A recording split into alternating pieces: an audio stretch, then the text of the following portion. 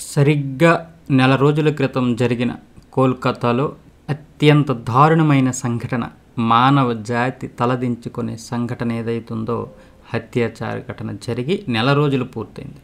మొదట బెంగాల్ పోలీసులు ఈ కేసును దర్యాప్తు చేశారు. ఆ తర్వాత సిబిఐ పరిధిలోకి వచ్చింది.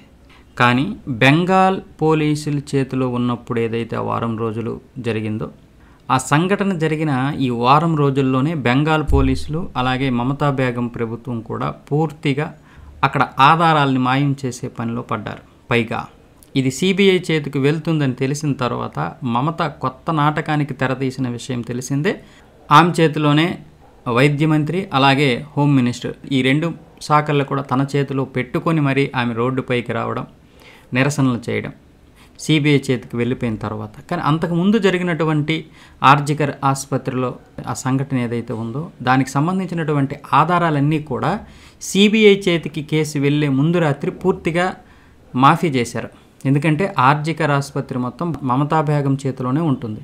పోలీసులు రౌడీలు ఇంకా చాలామంది దాన్ని పూర్తిగా ధ్వంసం చేశారు ఆధారాలు. దానివల్ల ఇప్పుడు సిబిఐకి ఈ కేసుని ఛేదించడానికి చాలా సమయం పడుతుంది పైగా సవాల్గా మారింది.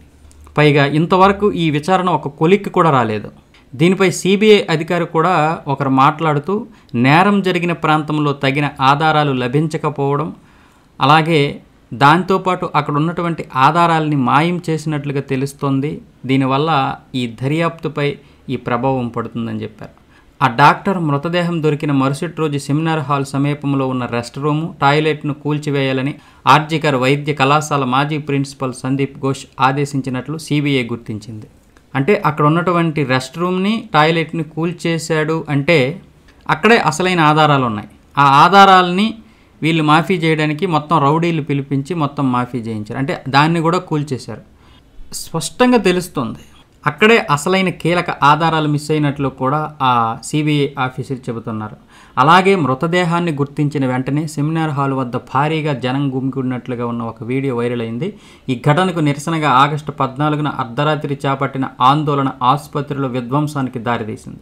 ఈ రెండు సందర్భాల్లో ఆధారాలు ధ్వంసమయ్యాయా అనే అనుమానాలు కూడా తలెత్తాయి. ఆగస్టు పద్నాలుగునే జరిగిందండి అసలైనటువంటి రాద్ధాంతం. ఆగస్టు పదిహేను సిబిఐ చేతికి వెళ్తుందన్నప్పుడు మమతా బ్యాగ్కి సంబంధించినటువంటి రౌడీలు అలాగే టీఎంసీకి సంబంధించినటువంటి మరికొంతమంది రౌడీ మోకలు అలాగే అక్కడ ఉన్నటువంటి అమ్మాయిపై పద్దెనిమిది మంది పద్దెనిమిది మంది అబ్బాయిలు అత్యంత పాశవికంగా ఆమెని హత్య చేసి మానభంగం చేసి చంపేశారు. దానికి వాళ్ళు కూడా వాళ్ళకి సంబంధించిన వాళ్ళు అందరూ కూడా ఈ ఆధారాల్ని మాఫీ చేశారు. కోల్కతా పోలీసులు ఏం చెప్తున్నారంటే అలాంటిది ఏమీ జరగలేదని ఇప్పటికీ కూడా వితండవాదం చేస్తున్నారు. అలాగే ఈ ఘటనపై బాధితురాలి తల్లిదండ్రులు హైకోర్టులో వేసిన పిటిషన్లో గ్యాంగ్ రేపు జరిగి ఉండొచ్చన్న అనుమానాలు లేవనెత్తారు. ఆధారాలు మొత్తం తారుమారయ్యాయని కూడా ఆరోపించారు.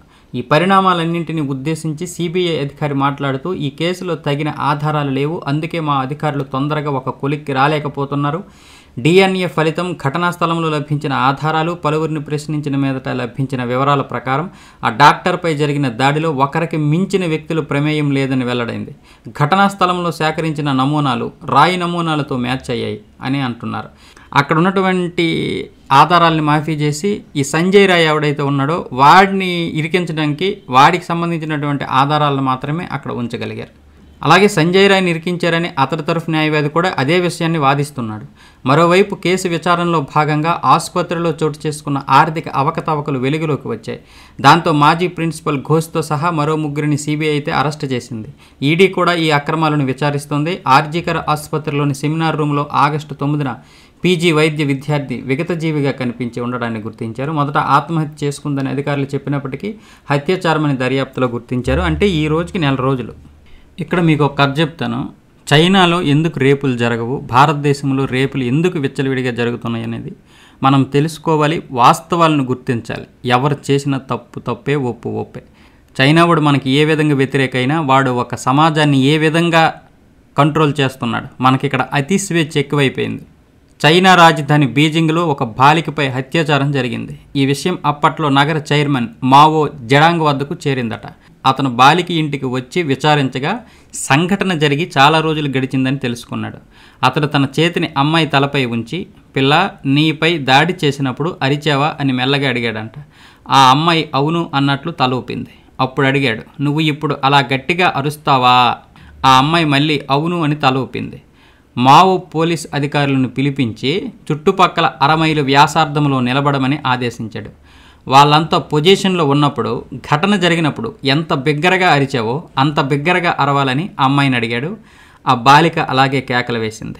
అధికారులను తిరిగి పిలిచి వారు ఏదైనా విన్నారా? అని అడిగినప్పుడు ప్రతి ఒక్కరూ అరుపులు విన్నారని ధృవీకరించారు. ఎవరు? అరమైలు వ్యాసార్థంలో నిలబడినటువంటి పోలీస్ అధికారులు మేము ఒక కేకని విన్నాము అని ధృవీకరించారు. వెంటనే మావో ఆ అరమైలు పరిధిలో నివసిస్తున్న పురుషులందరినీ ఒక చోట చేర్చి పోలీసులను ఇలా ఆదేశించాడు. ఒక అరగంటలో రేపిస్టులను బయట పెడితే వారిని విడిచిపెట్టండి. లేకపోతే వారందరినీ కాల్చిబడియండి. అంతే. దాదాపు పది నిమిషాల్లోనే నిందితులను గుర్తించి అందరి ముందు అక్కడికక్కడే కాల్చి చంపేశారు. ఇంతకీ ఈ నిందితుల్ని గుర్తించి పట్టించింది అప్పటికప్పుడు ఎవరంటే అక్కడ ఉన్న స్థానిక ప్రజలే. ఎందుకంటే వాళ్ళను గనక పట్టివ్వకపోతే వెంటనే వీళ్ళందరూ చస్తారు. వీళ్ళందరూ బతకాలి. కాబట్టి నేరస్తుడు వాళ్ళకి తెలుసు. కాబట్టి వెంటనే వాళ్ళ ప్రాణాల కంటే ఎక్కువ ఎవరికి కాదు. కాబట్టి వెంటనే ఆ నేరస్తులు ఇచ్చేశారు. కానీ మన దగ్గర అలా కాదు.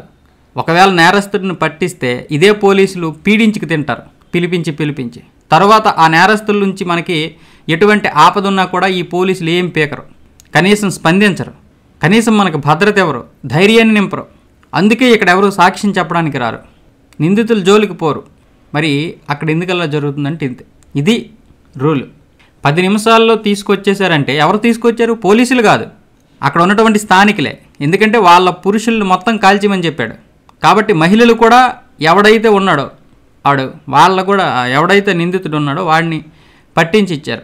అందరూ పది నిమిషాల్లో తలా ఒక దిక్కు పరిగెట్టి అరమైలు వ్యాసార్థంలో తలా ఒక దిక్కు పరిగెట్టి వాడిని తీసుకొచ్చి వాడినే కాదు దానికి సంబంధించిన వాళ్ళందరినూ కాల్చిపడేశారు. మొత్తం ఈ ప్రక్రియ అంతా మూడు గంటల్లోనే జరిగిపోయింది. అది జరిగి యాభై ఏళ్ళు అవుతుంది. ఇప్పటికీ బీజింగ్లో ఒక అత్యాచారం కూడా జరగలేదు.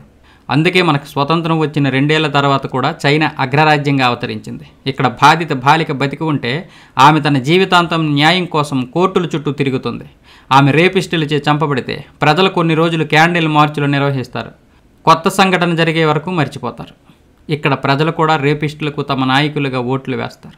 రేపిస్టులను శిక్షించమని అదే నాయకులను అభ్యర్థిస్తారు. ఇది మన దేశ దౌర్భాగ్యం. ఇంతకు మించి మనం చెప్పాల్సిన అవసరం లేదు. ఆర్జీకర్ ఆసుపత్రిలో కూడా ఇదే జరిగింది. ఇంతకు మించి ఏం లేదు. ఒక ఆర్జీకర్ ఆసుపత్రి కావచ్చు ఒక ఆయేస హత్య కావచ్చు లేకపోతే ఒక నిర్భయ కావచ్చు ఇంకెవరైనా కావచ్చు. అందరి పరిస్థితి ఇదే. ఈ దేశంలో న్యాయం వెంటనే జరగడం లేదు రేపిస్టులకి. ఇది మాత్రం వాస్తవం. ఏ ప్రభుత్వం వచ్చినా న్యాయం జరగడం లేదు. ప్రజలు కూడా దీనిపై స్పందించాలి. మొన్న ఏదైతే డాక్టర్కి స్పందించారో ప్రజలు అలా ప్రతిదానికి కొంచెం స్పందించి చట్టాలు తొందరగా అమలయ్యేలా జరగాలి. నడి రోడ్డు మీద కాల్చడమా? ఉరేసి చంపడమా? ఎన్కౌంటర్ చేయడమా? కాళ్ళు చేతులు తీసేయడమా? పురుషాంగం తీసేయడమా? నాలుక కళ్ళు పొడిచేయడమా ఏదో ఒకటి ఏదో ఒకటి జరగాలి. లేకపోతే ఎవడో దారిలోకి రాడు. ఈ వీడియో ఇన్ఫర్మేషన్ కోసం మాత్రమే చేయడం జరిగింది. ఇందులో ఎటువంటి పెడార్థాలు తీయకండి. ఈ వీడియో కనుక మీకు నచ్చితే లైక్ చేయండి షేర్ చేయండి కామెంట్ చేయండి. సబ్స్క్రైబ్ చేసుకోవడం మాత్రం మర్చిపోకండి. జై జవాన్ జై కిసాన్ జై భారత్ జై హింద్. వందే మాతరం.